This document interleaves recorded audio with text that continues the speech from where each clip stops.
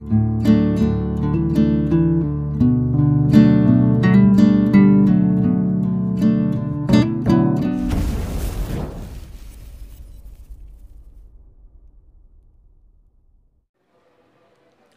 ಮಿತ್ರರೇ.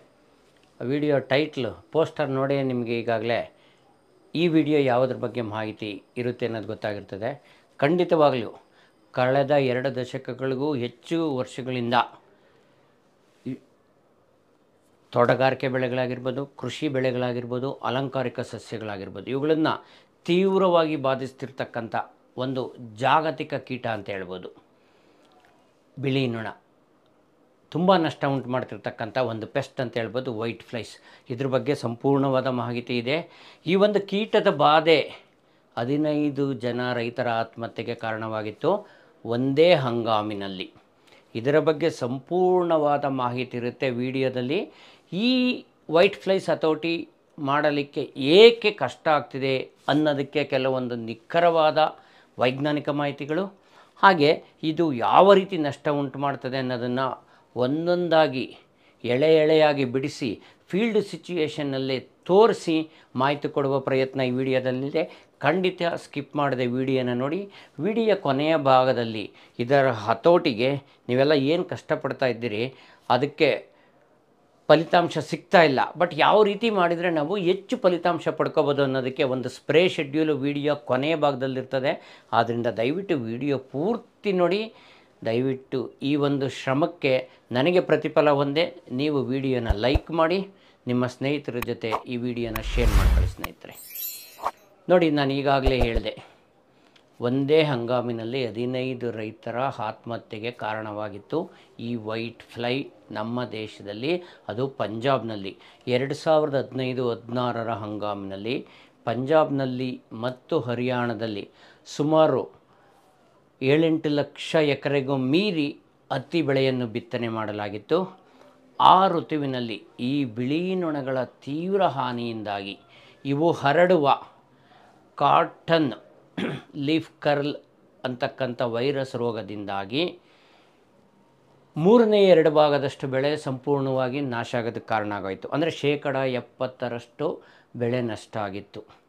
ಅತ್ಯುತ್ತಮವಾದ ಫಲಿತಾಂಶ ನಿರೀಕ್ಷೆಯಲ್ಲಿದ್ದ, ಹಣದ ನಿರೀಕ್ಷೆಯಲ್ಲಿದ್ದ, ಲಾಭದ ನಿರೀಕ್ಷೆಯಲ್ಲಿದ್ದ ರೈತರಿಗೆ ತುಂಬಾ ನಿರಾಶೆ ಆಯಿತು.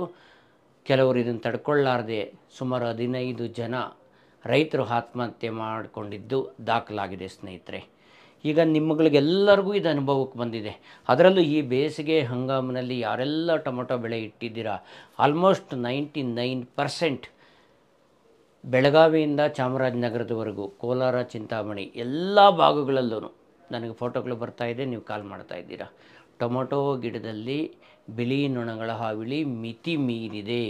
ಕೆಲವರು ಫೋಟೋ ಹಾಕಿ ತೋರಿಸಿದೆ ನೋಡಿ, ಒಂದು ಎಲ್ಲೋ ಗಮ್ ಶೀಟಲ್ಲಿ ಇನ್ನು ಜಾಗನೇ ಇಲ್ಲ ಅನ್ನೋವಷ್ಟು ಮಟ್ಟಕ್ಕೆ ಅಂಟ್ಕೊಂಡಿದ್ದಾವೆ.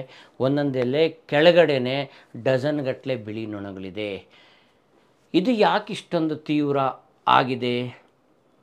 ಇದು ಎಲ್ಲಿಂದ ಬಂತು, ಹೇಗೆ ಸ್ಟಾರ್ಟ್ ಆಯಿತು? ಒಂದಷ್ಟು ಮಾಹಿತಿ ಪಡ್ಕೊಳ್ಳೋದಾದರೆ, ನೋಡಿ, ಮೊಟ್ಟ ಮೊದಲ ಬಾರಿಗೆ ಸಾವಿರದ ಎಂಟುನೂರ ಎಂಬತ್ತೊಂಬತ್ತರಲ್ಲಿ ತಂಬಾಕು ಬೆಳೆನಲ್ಲಿ, ಟೊಬ್ಯಾಕೊ ಬೆಳೆನಲ್ಲಿ ಗ್ರೀಸ್ ದೇಶದಲ್ಲಿ ಮೊದಲ ಬಾರಿಗೆ ಈ ಬಿಳಿ ನೊಣವನ್ನು ಗುರುತಿಸಲಾಯಿತು. ಹಾಗಾಗಿನೇ ಇದಕ್ಕೆ ಬೆಮಿಸಿಯಾ ಟಬಾಸಿ ಅಂತ ಹೆಸರಿಡಲಾಯಿತು. ಆ ನಂತರದಲ್ಲಿ ಅನೇಕ ಜಾತಿಯ ಸುಮಾರು ನಿಖರವಾಗಿ ಹೇಳೋದಾದರೆ ಬಲ್ಲ ಮೂಲಗಳಿಂದ ಹೇಳೋದಾದರೆ ಸಾವಿರದ ಐನೂರ ಐವತ್ತಾರು ಜಾತಿಯ ಬಿಳಿ ನೊಣಗಳನ್ನು ಗುರುತಿಸಲಾಗಿದೆ. ಇದು ಜಾಗತಿಕವಾಗಿ ಪ್ರಪಂಚದಲ್ಲಿ ಎರಡು ಸಾವಿರಕ್ಕೂ ಹೆಚ್ಚು ರೀತಿಯ ಬೆಳೆಗಳನ್ನು ನಾಶ ಮಾಡ್ತಾ ಇದೆ. ಇನ್ನೂರಕ್ಕೂ ಹೆಚ್ಚು ಜಾತಿಯ ವೈರಸ್ ರೋಗಗಳಿಗೆ ವಾಹಕಗಳಾಗಿ ಕೆಲಸ ಮಾಡ್ತಾ ಇದೆ, ವೈರಸ್ ರೋಗ ಹರಡ್ತಾ ಇದೆ. ನಾವು ಕಾಮನ್ನಾಗಿ, ಸಾಮಾನ್ಯವಾಗಿ ಬೆಳೆಯೋ ಬೆಳೆ ಯಾವುದನ್ನ ಉದಾಹರಣೆ ತಗೊಳ್ಳಿ ನೀವು. ಅನೇಕವಿದ್ದಾವೆ ನೀವು ಸಾಮಾನ್ಯವಾಗಿ ಬೆಳೀತಕ್ಕಂಥ ತರಕಾರಿ ಬೆಳೆಗಳಾಗಿರ್ಬೋದು, ಆಹಾರ ಧಾನ್ಯಗಳ ಬೆಳೆಗಳಾಗಿರ್ಬೋದು ಎಣ್ಣೆಕಾಳು ಬೆಳೆಗಳಾಗಿರ್ಬೋದು, ಹಣ್ಣಿನ ಬೆಳೆಗಳಾಗಿರ್ಬೋದು, ಇದು ಯಾವುದು ತೋಟಗಾರಿಕೆ ಬೆಳೆ ಆಗಿರ್ಬೋದು ಆಮೇಲೆ ಎಕನಾಮಿಕಲ್ ಕ್ರಾಪ್ಸ್ ಅಂತ ಏನು ಹೇಳ್ತೀವಿ, ವಾಣಿಜ್ಯ ಬೆಳೆಗಳು, ಹತ್ತಿ ಈ ಥರದ್ದು ಅವುಗಳಲ್ಲಾಗಿರ್ಬೋದು. ಇದರ ಬಾಧೆ ತುಂಬ ತೀವ್ರವಾಗಿದೆ ಸ್ನೇಹಿತರೆ. ಯಾವ ಮಟ್ಟಕ್ಕೆ ಅಂದರೆ ಲಕ್ಷಾಂತರ ಕೋಟಿ ಆರ್ಥಿಕ ನಷ್ಟಕ್ಕೆ ಕಾರಣ ಆಗ್ತಾ ಇದೆ ಈ ಬಿಳಿ ನೊಣಗಳ ಹಾವಳಿಯಿಂದ.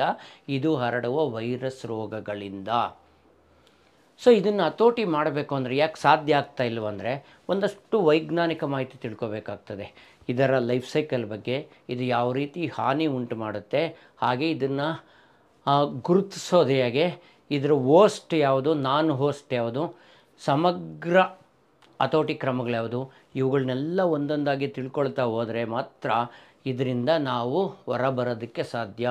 ಇಲ್ಲಾಂದರೆ ಈಗಾಗಲೇ ಸುಮಾರು ಜನ ರೈತರುಗಳು ಟೊಮೊಟೊ ಬೆಳೆಯನ್ನು ತೆಗೆದಾಕ್ಬಿಟ್ಟಿದ್ದೀರಿ. ಇನ್ನಿದು ಇಂಪ್ರೂವ್ ಆಗೋಲ್ಲ ವೈರಸ್ ಹತೋಟಿಗೆ ಬರಲ್ಲ ಅಂತ. ಅದು ಸತ್ಯ ಕೂಡ ಹೌದು. ಯಾಕಂದರೆ ವೈರಸ್ಗೆ ಇಲ್ಲಿಯವರೆಗೂ ಯಾವುದೇ ಶೂಟ್ ಶಾಟ್ ಸೊಲ್ಯೂಷನ್ ಅಂತೀವಲ್ಲ, ನಿಖರವಾದ ಔಷಧಿಗಳನ್ನು ಕಂಡುಹಿಡಿಯೋದಕ್ಕೆ ಸಾಧ್ಯ ಆಗಿಲ್ಲ. ನಾವೆಲ್ಲ ಮಾಡಬೇಕಾಗಿರೋದಿಷ್ಟೇ ಅವುಗಳನ್ನ ನರಡೋ, ಈ ಬಿಳಿ ನೊಣಗಳು ವೈಟ್ ಫ್ಲೈಸ್ ಮತ್ತು ಇನ್ನಿತರ ರಸಾಯನ ಕೀಟಗಳಿದೆಯಲ್ಲ. ತ್ರಿಪ್ಸು ಏಫಿಟ್ಸು ಇವುಗಳನ್ನ ಹತೋಟಿ ಮಾಡ್ಕೋಬೇಕಾಗಿದೆ ಅಷ್ಟೇ ಸೊ ಮುಂದಿನ ಭಾಗಗಳಲ್ಲಿ ನೀವು ಸ್ಕಿಪ್ ಮಾಡದೆ ನೋಡಿ. ಅನೇಕ ವಿಷಯಗಳನ್ನು ನಾನು ಫೀಲ್ಡ್ ಸಿಚುಯೇಷನಲ್ಲಿ ನಿಮಗೆ ಕ್ಯಾಪ್ಚರ್ ಮಾಡಿ ತೋರಿಸ್ತಾ ಇದ್ದೀನಿ. ನಮ್ಮ ಭಾರತದಲ್ಲಿ ಇದನ್ನು ನಾವು ನೋಡೋದಾದರೆ ಸಾವಿರದ ಒಂಬೈನೂರ ತೊಂಬತ್ತೈದರಲ್ಲಿ ಕೇರಳದಲ್ಲಿ ಕಾಣಿಸ್ಕೊಳ್ತು. ತೀರಾ ಇತ್ತೀಚೆಗೆ ಎರಡು ಸಾವಿರದ ಹದಿನೈದು ಹದಿನಾರರಲ್ಲೇ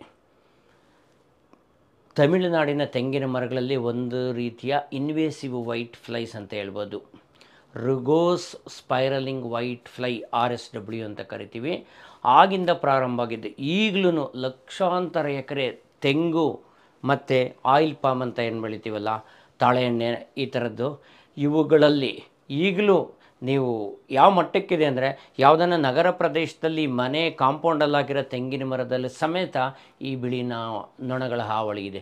ನೀವು ಸುಮ್ಮನೆ ಒಂದು ರೌಂಡ್ ಓಡಾಡುವಾಗ ತೆಂಗಿನ ಮರ ಕಂಡ್ರೆ ಗಮನಿಸಿ, ಪ್ರತಿಯೊಂದು ತೆಂಗಿನ ಮರದಲ್ಲಿದೆ ಈ ರೀತಿ ವಿಶ್ವವ್ಯಾಪಿಯಾಗಿರ್ತಕ್ಕಂಥ ಈ ಬಿಳಿ ನೊಣಗಳ ಹತೋಟಿ ಸಾಧ್ಯವಿಲ್ವಾ?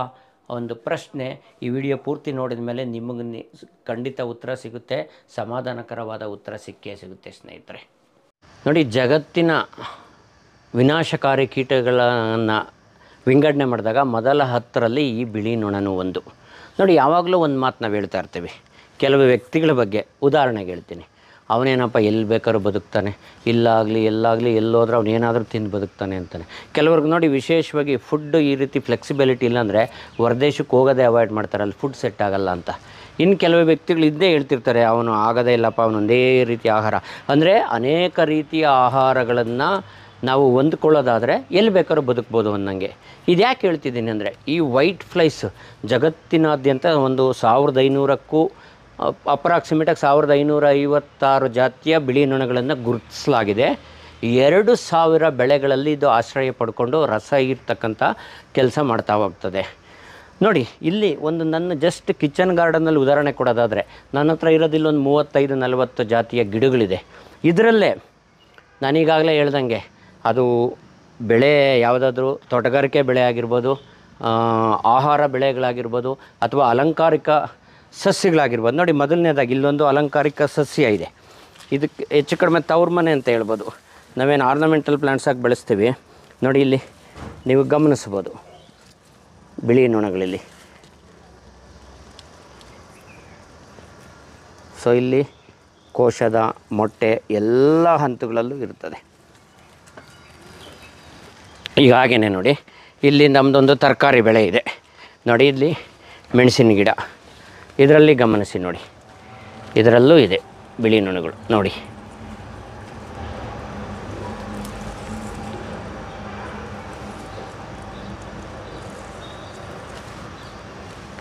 ಹಾಗೆಯೇ ಇಲ್ಲಿ ಗುಲಾಬಿ ಗಿಡಗಳಿದೆ ನೋಡಿ. ಇದು ಫ್ಲವರ್ ಕ್ರಾಪ್ಸ್ ಗುಲಾಬಿ ಗಿಡ ನೋಡಿ. ಇದರಲ್ಲಿ ಬಿಳಿ ನೊಣಗಳು ಸೊ ಹಾಗೆ ಹಣ್ಣಿನ ಬೆಳೆಗಳು, ಮೇಜರಾಗಿ ನೀವಂತೂ ಯಾರು ಹಾಕಿದ್ರೂ ಅವರೆಲ್ಲ ಅನುಭವಿಸಿರ್ತೀವಿ ಇದರ ಬಾಧೆ. ನೋಡಿ, ಇಲ್ಲಿ ವೈಟ್ ಫ್ಲೈಸ್ ಇದೆ.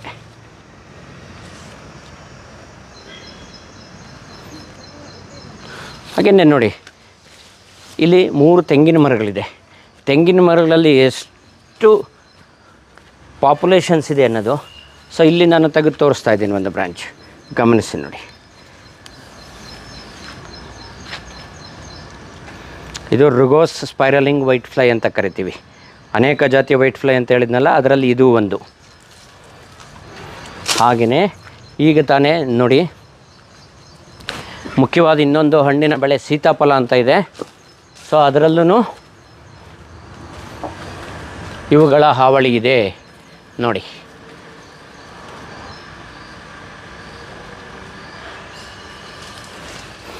ಈಗ ತಾನೇ ನಾನು ಇನ್ನೊಂದು ಹಣ್ಣಿನ ಬೆಳೆ ದಾಳಿಂಬೆ ನಾನು ಎತ್ತರಲ್ಲಿ ಮಾಡಿ ನಾನು ನನ್ನದೇ ಆದ ರೀತಿಯಲ್ಲಿ ಬೆಳೀತಾ ಇದ್ದೀನಿ ಅದನ್ನು.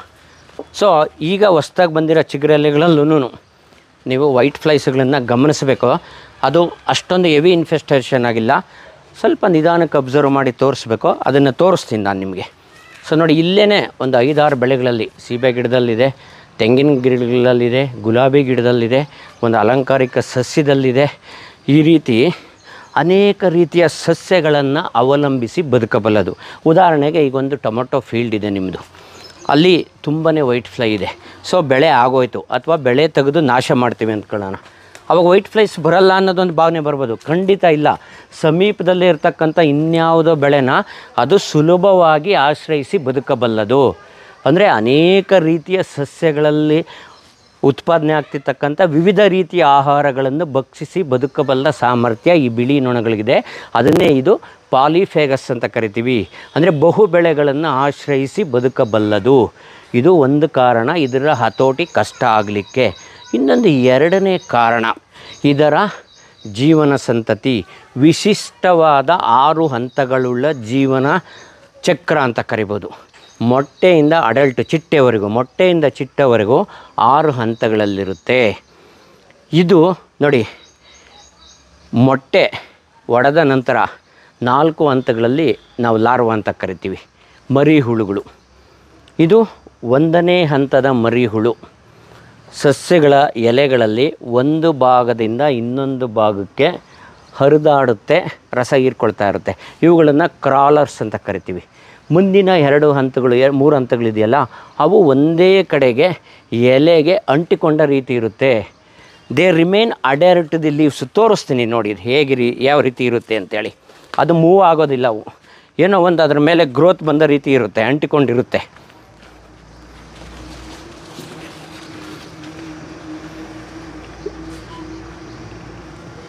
ನೋಡಿ, ಇದು ನಿಮಗೆ ತೋರಿಸ್ತಾ ಇರೋದು ಅಡಲ್ಟ್ ಬಿಳಿ ನೋಣ, ಇದು ಮೂವ್ ಆಗ್ತಾ ಇದೆ. ನೋಡಿ, ಆರೋಯಿತು. ಸೊ ಆ ರೀತಿ ಮರಿ ಹಂತದವು ಮೂವ್ ಆಗಲ್ಲ, ಹಿಂಗೆ ಸ್ಟಿಕ್ ಆನ್ ಆಗಿರುತ್ತೆ. ನೋಡಿ, ಅಲ್ಲಿ ಅಂಟಿಕೊಂಡಿರುತ್ತೆ, ಆದರೆ ರಸ ಇರ್ತಾ ಇರ್ತವೆ.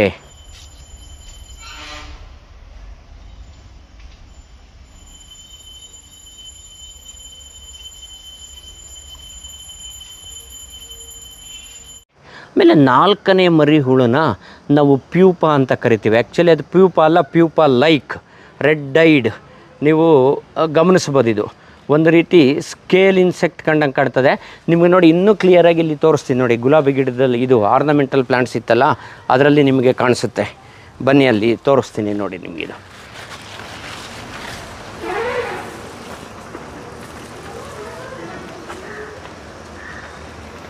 ನೋಡಿ, ಇದು, ಇದನ್ನು ಪ್ಯೂಪ ಅಂತ ಕರಿಬೋದು ನೋಡಿ. ಆ್ಯಡರ್ ಆಗಿರುತ್ತೆ ಸ್ಕೇಲ್ ಇನ್ಸೆಕ್ಟ್ಸ್ ಅಂತ ಏನು ಕರಿತೀವಿ? ಆ ರೀತಿ ಅಂಟಿಕೊಂಡ ರೀತಿಯಲ್ಲಿರ್ತದೆ ಇದರಿಂದ ಮರಿ ಹುಳು ಬಂದುಬಿಡುತ್ತೆ ಕೆಲವೇ ದಿನಗಳಲ್ಲಿ. ಅದನ್ನು ಸಾರಿ ಚಿಟ್ಟೆ ಅಡಲ್ಟ್ ಈಗ ಹಾರಾಡ್ತಾ ಇದೆ ನೋಡಿ ಎಲ್ಲೆ ಅಲ್ಲಾಡಿಸ್ದಾಗ ಆಯ್ತಲ್ಲ ಇದು. ಇಡೀ ಸಸ್ಯದ ಎಲ್ಲ ಎಲೆಗಳನ್ನು ಆವರಿಸ್ಕೊಳ್ಳುತ್ತೆ. ಒಂದು ಬಿಳಿ ನೊಣ, ವಯಸ್ಕ ಬಿಳಿ ನೊಣ ನೂರೈವತ್ತಕ್ಕಿಂತ ಹೆಚ್ಚು ಮೊಟ್ಟೆಗಳನ್ನು ಹಿಡಿಯುತ್ತೆ. ಹಿಡುತ್ತೆ. ಅವು ನಂತರ ಕೆಲವೇ ದಿನಗಳಲ್ಲಿ ಮೊಟ್ಟೆಯಿಂದ ಮರಿಗಳು, ನಾಲ್ಕು ಹಂತದ ಮರಿಗಳಾಗುತ್ತೆ. ಅದಾದ ಮೇಲೆ ಮೊಟ್ಟೆ ಒಂದು ಹಂತ, ನಾಲ್ಕು ಹಂತ ಮರಿಗಳು, ಐದು, ಇನ್ನೊಂದು ಅಡಲ್ಟು. ಆರು ವಿಶಿಷ್ಟ ರೀತಿಯ ಹಂತಗಳು ಇರ್ತಕ್ಕಂಥ ಜೀವನ ಚಕ್ರ ಎಷ್ಟು ದಿನಕ್ಕೆ ನಡಿಬೋದು ಇದು? ಎಷ್ಟು ದಿನಕ್ಕೆ ಕಂಪ್ಲೀಟ್ ಆಗ್ಬೋದು? ನಿಜವಾಗಲೂ ಗಾಬರಿ ಹುಟ್ಟಿಸುವ ಸತ್ಯ ಏನು ಅಂದರೆ, ಇದು ಉಷ್ಣಾಂಶದ ಮೇಲೆ ಡಿಪೆಂಡ್ ಆಗಿರುತ್ತೆ. ಈಗಿನ ಈ ಬೇಸಿಗೆಯ ದಿನಗಳಲ್ಲಿರ್ತಕ್ಕಂಥ ಉಷ್ಣಾಂಶದಲ್ಲಿ ಈ ಜೀವನ ಚಕ್ರ ಕೇವಲ ಕೇವಲ ಹದಿನೈದು ದಿನಗಳಲ್ಲಿ ಕಂಪ್ಲೀಟ್ ಆಗ್ತದೆ, ಮೊಟ್ಟೆಯಿಂದ ಅಡಲ್ಟ್ವರೆಗೂ ಹಾಗೆ ನೀವು ಒಂದು ಎಲೆ ಗಮನಿಸಿದಾಗ, ಒಂದು ಬೆಳೆ ಗಮನಿಸಿದಾಗ, ಒಂದೇ ಎಲೆಯಲ್ಲಿ ಮೊಟ್ಟೆಯಿಂದ ಅಡಲ್ಟ್ವರೆಗೂ ಎಲ್ಲ ಹಂತದ ಈ ಕೀಟದ ಎಲ್ಲ ಹಂತಗಳು ಇರ್ತವೆ. ಅದರಲ್ಲಿ ಪ್ಯೂಪ ಒಂದು ರಸ ಇರಲ್ಲ. ಮರಿ ಹುಳುಗಳು ಮೂರಂಥ ರಸ ಇರುತ್ತೆ. ಈ ಒಂದು ವಯಸ್ಕ ಬಿಳಿ ನೊಣ ರಸ ಇರುತ್ತೆ. ಇಷ್ಟೆಲ್ಲ ಹಂತಗಳು ಒಂದರಲ್ಲೇ ಇರೋದ್ರಿಂದ ಇದು ಇಷ್ಟು ಫಾಸ್ಟಾಗಿ ಮಲ್ಟಿಪ್ಲೈ ಆಗ್ತಾ ಹೋಗ್ತದೆ. ಹದಿನೈದರಿಂದ ಇಪ್ಪತ್ತೆಂಟು ದಿನಗಳು ಮ್ಯಾಕ್ಸಿಮಮ್ಮು ಬೇಸಿಗೆ ದಿನಗಳಲ್ಲಿ. ಇದು ಬೇರೆ ನಾರ್ಮಲ್ ವಾತಾವರಣ ಇರುವಾಗ ನಲವತ್ತೈದರಿಂದ ಐವತ್ತೈದು ದಿನಗಳವರೆಗೂ ಆಗುತ್ತೆ ಜೀವನ ಚಕ್ರ. ಸೊ ಮೊದಲನೇದು ಬಹು ಬೆಳೆಗಳನ್ನು ಆಶ್ರಯಿಸೋದ್ರಿಂದ ಇದನ್ನು ಹತೋಟಿ ಮಾಡೋದು ಕಷ್ಟ. ಕಂಟಿನ್ಯೂಸ್ ಆಗಿ ಅವಕ್ಕೆ ಆಶ್ರಯ ಸಿಗ್ತಲೇ ಇರ್ತದೆ. ಎರಡನೇದು ಈ ರೀತಿ ವಿಶಿಷ್ಟವಾದ ಆರು ಹಂತಗಳಲ್ಲಿ ಆರು ಹಂತಗಳನ್ನು ಒಳಗೊಂಡ ಜೀವನ ಚಕ್ರ. ಇದನ್ನು ಹತೋಟಿ ಮಾಡೋದು ಕಷ್ಟ ಅಂತಲೇ ಹೇಳ್ಬೋದು. ಇನ್ನೊಂದು ಕಾರಣ ವಿಶಿಷ್ಟವಾದದ್ದಿದು, ಯಾವುದೇ ಒಂದು ಪ್ರಬಲ ಕೀಟನಾಶಕ ಇದನ್ನು ಹತೋಟಿಗೆ ಬಂದಿದೆ ಅಂದರೆ ಕೆಲವೇ ಸೀಸನ್ಗಳಲ್ಲಿ ಅರ್ಧಕ್ಕೆ ನಿರೋಧಕತೆಯನ್ನು ಬೆಳೆಸ್ಕೊಳ್ತಕ್ಕಂಥ ಸಾಮರ್ಥ್ಯ ಈ ಬಿಳಿ ನೊಣಗಳಿದೆ. ಇದು ಹೇಗೆ ನಿರೋಧಕತೆ ಬೆಳೆಸ್ಕೊಳ್ತದೆ ಅನ್ನೋದಕ್ಕೆ ನಾನು ಈಗಾಗಲೇ ಕೀಟನಾಶಕಗಳ ಬಗ್ಗೆ ವೀಡಿಯೋಗಳು ಮಾಡ್ಕೊಂಡು ಬರ್ತಾ ಇದ್ದೀನಿ. ಈಗಾಗಲೇ ಒಂದೋ ಎರಡು ವೀಡಿಯೋಗಳಿದೆ. ನಿರೋಧಕತೆ ಹೇಗೆ ಬೆಳೆಸ್ಕೊಳ್ತದೆ ಅನ್ನೋದಕ್ಕೆ ಮುಂದಿನ ಒಂದೆರಡು ವಿಡಿಯೋಗಳಲ್ಲಿ ಇದು ಸ್ಪಷ್ಟವಾದ ಮಾಹಿತಿ ಕೊಡ್ತೀನಿ ವೈಜ್ಞಾನಿಕವಾಗಿ ಹೇಗೆ ರೆಸಿಸ್ಟೆನ್ಸ್ ಡೆವಲಪ್ ಆಗುತ್ತೆ. ಸಿಂಪಲ್ಲಾಗಿ ಹೇಳೋದಾದರೆ, ಒಂದು ಡಾರ್ವಿನ್ಸ್ ಥಿಯರಿ ಆಫ್ ಎವಲ್ಯೂಷನ್ನು ಕೆಲವರು ಗೊತ್ತಿರ್ತದೆ ನಿಮಗೆ. ಈಗ ನೀವು, ನಾವಾಗಲಿ ಏನಾದರೂ ಒಂದು ಕಷ್ಟ ಬಂತು ಒಂದು ಕೆಲಸ ಮಾಡಲಿಕ್ಕೆ ಅಂದ್ಕೊಳ್ಳೋಣ. ನೆಕ್ಸ್ಟ್ ಟೈಮು ನಾವು ಅದಕ್ಕೆ ಏನಾದರೂ ಒಂದು ಪರ್ಯಾಯ ಕಂಡುಕೊಂಡು ನಾವು ಅಪ್ಡೇಟ್ ಆಗಿ ಅದನ್ನು ಮಾಡೋ ರೀತಿ ಕಲ್ತ್ಕೊತೀವಿ. ಅಂದರೆ ಪದೇ ಪದೇ ಕಷ್ಟ ಬರ್ತಾಯಿತ್ತು ಅಂದರೆ ನಾವು ನಾಶ ಆಗಲ್ಲಲ್ವ? ಓವರ್ಕಮ್ ಮಾಡಲಿಕ್ಕೆ. ಅದೇ ರೀತಿ ಕೀಟಗಳಲ್ಲೂ ಪ್ರತಿಯೊಂದು ಜೀವನೆಯಲ್ಲಿ survival of the fittest struggle for existence ಅಂತ ಇದೆ. ಬದುಕೋದಕ್ಕೆ ಪ್ರಯತ್ನ ಪಡ್ತಲೇ ಇರ್ತವೆ. ಸೊ ಒಂದು ಮೊದಲನೇ ಸರಿ ನೀವು ಕೀಟನಾಶಕ ಸಿಂಪರಣೆ ಮಾಡಿದಾಗ ಅವು ಸತ್ತೋಗ್ತವೆ. ಕೆಲವು ಪರ್ಸೆಂಟೇಜ್ ಉಳ್ಕೊಂಡಿರ್ತವೆ ಅಂದ್ಕೊಳ್ಳೋಣ. ಹಂಡ್ರೆಡ್ ಪರ್ಸೆಂಟ್ ಯಾವುದು ಸಾಯಲ್ಲ ಅವುಗಳ ನಂತರ ಅವಕ್ಕೆ ನಿರೋಧಕತೆಯನ್ನು ಬೆಳೆಸ್ಕೊಳ್ತಾ ಹೋಗ್ತವೆ. ಸೊ ಅದಕ್ಕೆ ವೈಜ್ಞಾನಿಕವಾಗಿ ನಾನು ಕೆಲವು ವೀಡಿಯೋಗಳಲ್ಲಿ ಹೇಳಿದ್ದೀನಿ. ಒಂದೇ ಔಷಧಿನ ಪದೇ ಪದೇ ಹೊಡಿತಾ ಇದ್ದಾಗ ಅದರ ಎಫೆಕ್ಟಿವ್ನೆಸ್ ಕಡಿಮೆ ಆಗುತ್ತೆ. ಇದ್ರ ಬಗ್ಗೆ ನಾನು ಮತ್ತೆ ಹೇಳ್ತೀನಿ. ಸೊ ಈ ಮೂರು ಕಾರಣಗಳಿಂದ ಇದರ ಹತೋಟಿ ಕಷ್ಟ ಅಂತ ಹೇಳ್ಬೋದು ಸ್ನೇಹಿತರೆ. ಈ ಥರ ಡಿವಾಸ್ಟೇಟಿಂಗ್ ಆಗಿರ್ತಕ್ಕಂಥ ವೈಟ್ ಫ್ಲೈ ಬೆಳೆಗಳಿಗೆ, ನಮ್ಮ ಸಸ್ಯಗಳಿಗೆ ಯಾವ ರೀತಿ ಹಾನಿ ಮಾಡುತ್ತೆ? ನೋಡಿ, ಮೂ, ಮುಖ್ಯವಾಗಿ ಮೂರು ರೀತಿಯ ಒಂದು ಈ ಎಫೆಕ್ಟನ್ನು ನಾನು ಉಲ್ಲೇಖ ಮಾಡಿ ತೋರಿಸ್ತೀನಿ ನೋಡಿ. ಮೊದಲನೇದಾಗಿ ಇವು ಫ್ಲೋಯಮ್ ಫೀಡರ್ಸ್. ಅಂದರೆ ಸಸ್ಯಗಳಲ್ಲಿ ಗ್ಸೈಲಮ್ ಅಂತ ಫ್ಲೋಯಮ್ ಅಂತ ಇರುತ್ತೆ.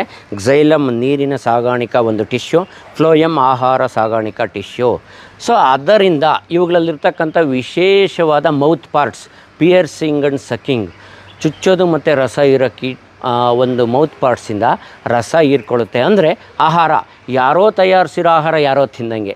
ಈಗ ಸಸ್ಯಗಳಲ್ಲಿ ಉತ್ಪಾದನೆ ಆಗಿರ್ತಕ್ಕಂಥ ಆಹಾರ ಫ್ಲೋಯಮ್ ಟಿಶ್ಯೂಗಳಲ್ಲಿ ಸಾಗಾಣಿಕೆ ಆಗ್ತಾ ಇರ್ತದಲ್ಲ, ಅದರ ಮುಖಾಂತರ ಆ ಸ್ಯಾಪ್ ಏನಿದೆ, ರಸ, ಆಹಾರ ಅದನ್ನು ಹೀರ್ಕೊಳ್ಳುತ್ತೆ.